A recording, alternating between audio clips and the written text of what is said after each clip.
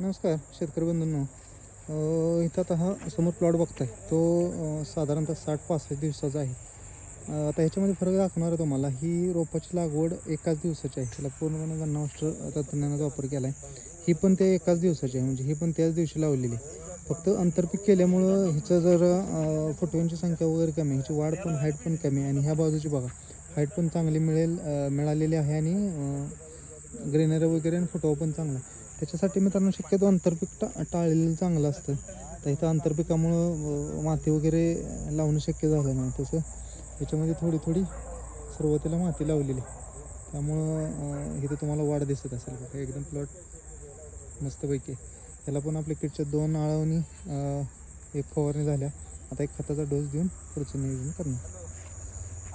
आंतरपिकामुळं होणारं नुकसान तुमच्या लक्षात आलं असेल. त्याच्यासाठी फक्त हा व्हिडिओ केला. धन्यवाद.